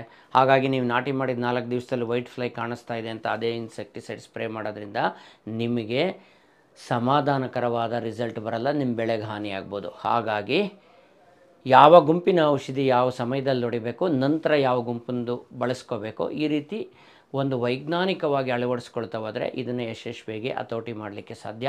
ನಾನು ಅದೇ ಒಂದು ಅನುಕ್ರಮವಾಗಿ ಸ್ಕ್ರೀನ್ನಲ್ಲಿ ಔಷಧಿಗಳನ್ನು ತೋರಿಸಿದ್ದೀನಿ ನೋಡಿ, ನಾನು ಇಲ್ಲೇನು ಹೇಳಲ್ಲ. ಆ ಸ್ಕ್ರೀನ್ ಶಾಟ್ ತಗೊಂಡು ನೀವು ಬಳಸ್ಬೋದು. ಹಾಗೆಯೇ ಮೈಕ್ರೋಬಿಯಲ್ ಕಲ್ಚರ್ಸ್ ಏನಿದೆ, ಇವುಗಳ ತೋಟಿಗೆ ಅವುಗಳನ್ನು ತೋರಿಸ್ತಾ ಇದ್ದೀನಿ ನೋಡ್ತಾ ಹೋಗಿ. ಈ ರೀತಿ ಯಶಸ್ವಿಯಾಗಿ ಅಳವಡಿಸ್ಕೊಂಡು ನೋಡಿ, ಎರಡು ರೀತಿಯ ಉದಾಹರಣೆ ಇಲ್ಲಿ ಹೇಳ್ತೀನಿ. ಒಬ್ಬರು ನನ್ನಿಂದ ನಿರಂತರವಾಗಿ ಟಚ್ಚಲ್ಲಿದ್ದು ನಾನು ವ್ಯಾಟ್ಸ್ ಗ್ರೂ ವ್ಯಾಟ್ಸಪ್ ಗ್ರೂಪ್ ಮೆಂಬರ್ ಆಗಿರೋರು. ಮಾಹಿತಿ ಪಡ್ಕೊಂಡು ಯಶಸ್ವಿಯಾಗಿ ಹತೋಟಿ ಮಾಡ್ಕೊಂಡಿರ್ತಕ್ಕಂಥದ್ದು ನಾನು ಎರಡು ಉದಾಹರಣೆ ಕೊಡ್ತೀನಿ. ಒಂದು ಕೋಲಾರ ಭಾಗದ್ದು ಶಶಿಕುಮಾರ್ ಅನ್ನೋ ರೈತ ಮಿತ್ರರದು, ಇನ್ನೊಂದು ಚಿಂತಾಮಣಿ ಭಾಗದ್ದು ಮಂಜುನಾಥನ್ ಅವ್ರದ್ದು ಇನ್ನೊಂದು ಇವರು ಮಾಹಿತಿ ಪಡ್ಕೊಂಡು ಅಲ್ಲಿ ಔಷಧಿ ತೊಗೊಂಡು ಬಳಸ್ಕೊಳ್ತಾವ್ರೆ. ಇನ್ನೊಂದು ಇನ್ನೊಬ್ಬ ನಮ್ಮ ರೈತ ಮಿತ್ರರು ಮೋಹನ್ ಕುಮಾರ್ ಅಂತ ಮಳವಳ್ಳಿ ಭಾಗದ್ದು, ಅವರಿಗೆ ಕಂಪ್ಲೀಟ್ ನಾನೇ ಕಳಿಸ್ಕೊಡ್ತಾ ಇರೋದು. ಅವರು ಯಶಸ್ವಿಯಾಗಿ ಹತೋಟಿ ಮಾಡಿಕೊಂಡಿದ್ದಾರೆ. ಅಂದರೆ ನಿಮಗೂ ಸಾಧ್ಯ ಇದೆ. ನಿಮ್ಮ ಊರಿನ ಅಂಗಡಿಗಳಲ್ಲಿ ಔಷಧಿಗಳು ಸಿಗ್ತದೆ. ಒಂದು, ನೀವು ಯಾವುದೇ ಒಂದು ಪ್ರಚೋದನೆಗೆ ಒಳಗಾಗದೆ, ತಪ್ಪು ಮಾಹಿತಿಗಳಿಗೆ ಒಳಗಾಗದೆ, ಅಂದರೆ ಆ ಫೀಲ್ಡಲ್ಲಿ ಹೊಡೆದಿದ್ರಂತೆ ರಿಸಲ್ಟ್ ಬಂತಂತೆ, ಈ ಥರ ಗಾಳಿ ಮಾತುಗಳು ಹಬ್ಬಿಸ್ತಾ ಹೋಗ್ತಿರ್ತಾರೆ. ಸೋಷಿಯಲ್ ಮೀಡಿಯಾದಲ್ಲಿ ಮೊಬೈಲಲ್ಲಿ ನೀವು ಈ ಥರದ್ದು ಮೊ ತುಂಬ ಮೆಸೇಜ್ಗಳು ಬರ್ತಾ ಇರ್ತದೆ. ಅದನ್ನು ನಂಬಿ ನೀವು ಯಾವುದನ್ನು ಅವೈಜ್ಞಾನಿಕವಾಗಿ ಖಂಡಿತ ಬೆಳೆಸೋಕೆ ಹೋಗ್ಬೇಡ್ರಿ. ನೀವು ಮಾಡೋ ಒಂದೊಂದು ತಪ್ಪು ವೈಟ್ ಫ್ಲೆಶ್ನಲ್ಲಿ ಬೆಳವಣಿಗೆ ಆಗತಕ್ಕಂಥ ರೋಗ ನಿರೋಧಕ ಶಕ್ತಿ ಏನಿದೆ, ಕೀಟನಾಶಕವನ್ನು ನಿರೋಧಿಸ್ತಕ್ಕಂಥ ಸಾಮರ್ಥ್ಯ ಅದು ಹೆಚ್ಚಲಿಕ್ಕೆ ಕಾರಣ ಆಗ್ತಾ ಹೋಗ್ತದೆ ಸ್ನೇಹಿತರೆ. ಇದೆಲ್ಲ ಮಾಡ್ಕೊಳ್ಳೋದ್ರಿಂದ ಯಾರಿಗೆ ತೊಂದರೆ ಆಗ್ತದೆ? ನಮಗೆ ನಿಮಗೆ ಮುಂದಿನ ದಿನಗಳಲ್ಲಿ ಬೆಳೆ ಮಾಡೋದು ಇನ್ನೂ ಕಷ್ಟ ಆಗ್ತದೆ. ಹಾಗಾಗಿ ಒಂದಷ್ಟು ತಾಳ್ಮೆ, ಒಂದಷ್ಟು ಸಂಯಮ ಇರಲಿ. ನೋಡಿ ಅವ್ರದ್ರಲ್ಲಿಲ್ಲ ನನ್ನರಲ್ಲಿದೆ ಅವ್ರು ದೊಡ್ಡದಿದ್ರಂತೆ, ಈ ರೀತಿ ಕಂಪ್ಯಾರಿಸನ್ ಬೇಡ. ಈಗ ನಿಮ್ಮೂರಲ್ಲಿ ಒಂದು ಇನ್ನೂರು ಜನ ಇದ್ದಾರೆ ಅಂದ್ಕೊಳ್ಳಿ, ಇಲ್ಲ ಐನೂರು ಜನ ಇದ್ದಾರೆ ಅಂದ್ಕೊಳ್ಳಿ. ಯಾರೋ ಇಬ್ಬರು ಕ್ಯಾನ್ಸರ್ ಬಂದುಬಿಟ್ಟಿರ್ತದೆ. ಏನಪ್ಪ ಊರಾಗೆಲ್ಲ ಅವರೇ, ನನಗೆ ಯಾಕೆ ಕ್ಯಾನ್ಸರ್ ಬಂತು? ಈ ರೀತಿ ಲಾಜಿಕ್ಗಳು ತರ್ಕಗಳು ಬೇಡ ಖಂಡಿತವಾಗ್ಲೂ ಒಬ್ಬರಿಗೆ ಕೆಲಸ ಮಾಡಿದ ಔಷಧಿ ಇನ್ನೊಬ್ರು ಕೆಲಸ ಮಾಡಲ್ಲ. ಹಾಗೆಯೇ ನೀವು ದಯವಿಟ್ಟು ಕಂಪೇರ್ ಮಾಡಬೇಡಿ. ವೈಜ್ಞಾನಿಕವಾಗಿ ಯಾವ ರೀತಿ ಮಾಡಬೇಕು, ಆ ರೀತಿ ಮಾಡ್ತಾ ಹೋದರೆ ಇದನ್ನು ಯಶಸ್ವಿಯಾಗಿ ಅಳವಡಿಸ್ಕೋಬೋದು. ಇದರ ಜೊತೆ ಜೊತೆಯಲ್ಲೇ ಈ ಪೆಸ್ಟ್ ಮ್ಯಾನೇಜ್ಮೆಂಟ್ ಜೊತೆಗೆ ನೀವು ನ್ಯೂಟ್ರಿಷನ್ ಮ್ಯಾನೇಜ್ಮೆಂಟ್ ಬಹಳನೇ ಮುಖ್ಯ, ಅದೇ ಫೌಂಡೇಶನ್ ಅದೇ ಅಡಿಪಾಯ. ನೀವು ನ್ಯೂಟ್ರಿಷನ್ ಮ್ಯಾನೇಜ್ಮೆಂಟಲ್ಲಿ ಫೇಲ್ ಆಯಿತು ಅಂದರೆ ಈ ಪೆಸ್ಟ್ ಮ್ಯಾನೇಜ್ಮೆಂಟ್ಗೆ ಇಂಟರ್ ರಿಲೇಟೆಡು ಫೇಲ್ ಆಗುತ್ತೆ ಸ್ನೇಹಿತರೆ.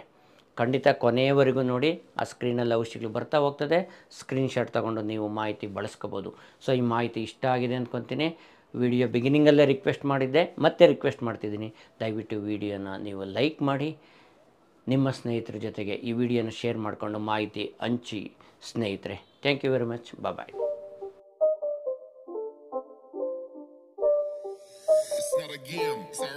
It's.